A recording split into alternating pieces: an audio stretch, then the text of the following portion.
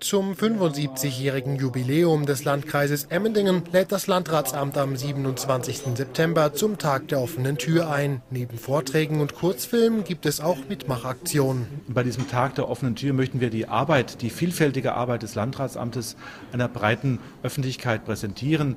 Es wird Aktionen der Abfallwirtschaft geben. Das Gesundheitsamt wird verschiedene Gesundheitsaktionen vorstellen. Wir haben ein kulturelles Programm vorbereitet, viele Aktionen auch für die Kinder.